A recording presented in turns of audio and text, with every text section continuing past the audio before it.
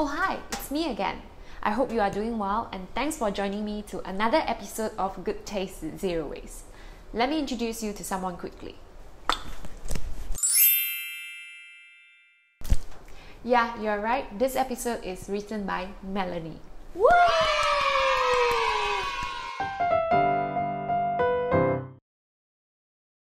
In our last episode, we made an all-purpose cleaner from citrus peel.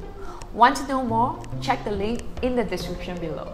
So this time we are going to make some delicious eats from juice pulp. Eh, cho tomate. What is juice pulp? It's all the leftover bits when you juice your veggies and fruits to make a refreshing drink. So don't throw them away or compose them straight away. Do store them in the freezer and use them for a bunch of tasty recipes. There are so many uses for juice pulp. Check this out. Option 1 Yummy Omelette. Make an extra delicious omelette. Top tip is to use carrot, tomato, or veggie pulp.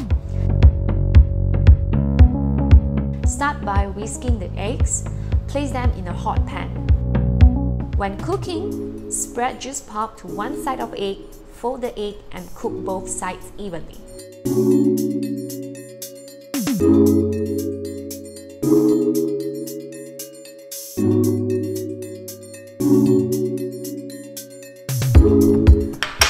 Presto! It's done! So you may serve with your toast and your favorite cuppa. Alright, it's just like black coffee, but it tastes the best.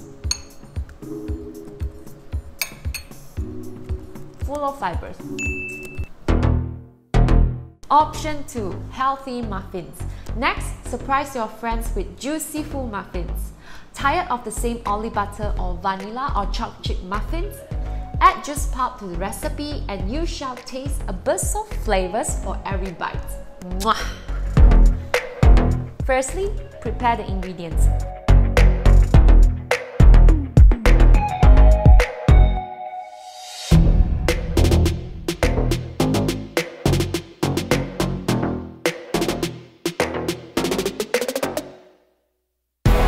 Mix them well in a bowl.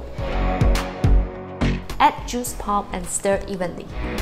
Top tip is to use red and green apple pulp for great tasting apple muffins. Add cinnamon for extra kick. Also try carrot, pineapple and orange pulp for fruity citrus muffins. Pour into prepared muffin pan and bake for 18 to 20 minutes in oven at 180 degrees Celsius or until toothpick at center of muffins come out clean. Set aside to cool, then tuck into fluffy and juicy full muffins.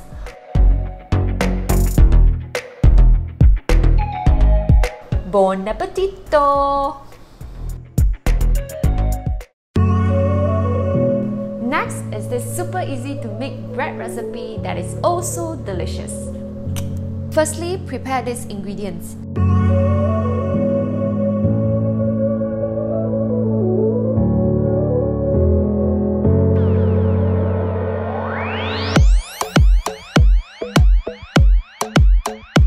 In a bowl, whisk the brown sugar, oil, granulated sugar, and eggs.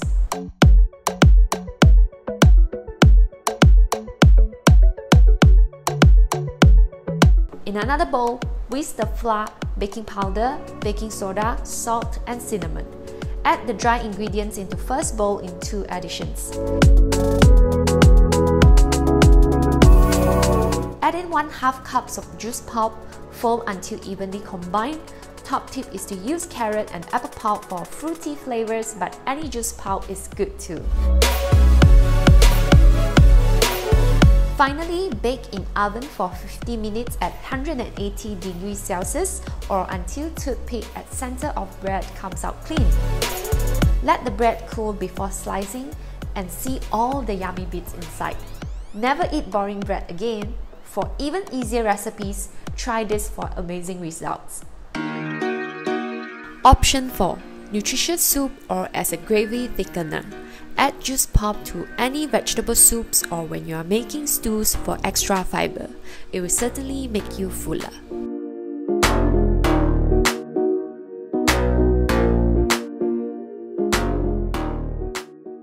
So that's about it. We hope you are inspired by all this creative recipe. If you do, be sure to share it with your friends and families, and it always means a lot if you could hit the like and share button.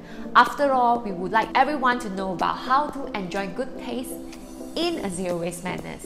So till then, we will see you on our next awesome episode. Jumpa lagi!